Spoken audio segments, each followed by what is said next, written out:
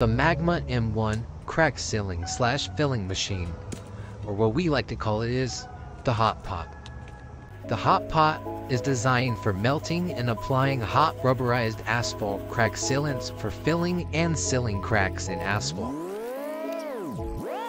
The material that we use is a blend of high-quality polymer modified asphalt sealant and polyester fibers that complies to Ohio DOT specification.